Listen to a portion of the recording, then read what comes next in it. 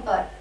विमान में सोती हुई महिला का यौन शोषण करने वाले भारतीयों को 9 साल की जेल। महाराष्ट्र यवतमाल में बीच सड़क पर भाजपा नेता की बेरहमी से हत्या।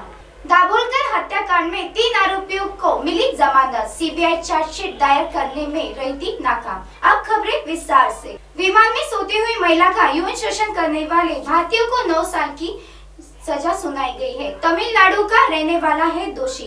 प्रभु राम मूर्ति 2015 में अमेरिका गया था। घटना के वक्त प्रभु की पत्नी भी साथ में बैठी हुई थी। बताया जा रहा है कि वॉशिंगटन विमान में एक महिला का यौन शोषण करने वाले इंजीनियर प्रभु राममूर्ति को अमेरिका की कोर्ट ने 9 साल की सजा सुनाई है। बीच सड़क पर भाजपा नेता की बेरहमी से हत्या। इलाके में तनाव की स्थिति घटना के बाद इलाके में पुलिस बल तैनात। वारदात के दौरान लोग सिर्फ़ तमाशा देख रहे थे। यह वारदात महाराष्ट्र के यवतमाल के आदि इलाके से दर्शाई जाती है। एक भाजपा नेता की बीच सड़क पर बेरहमी से हत्या कर दी गई थी। घटना का एक वीडियो सामने आया है।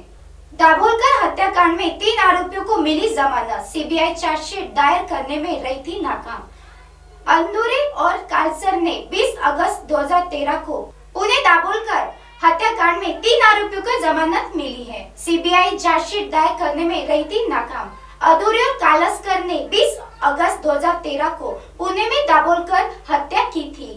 कुछ शर्तों पर मिली जमानत। क्या है इन तीनों पर आरोप?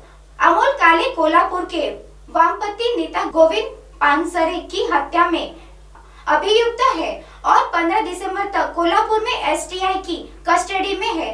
बांगोरा दिव्यकर पत्रकार पर समाजवादी गोरी लंकेश की हत्या के मामले लगे हैं। तो खबरों में आज के लिए इतना ही। एमएनएस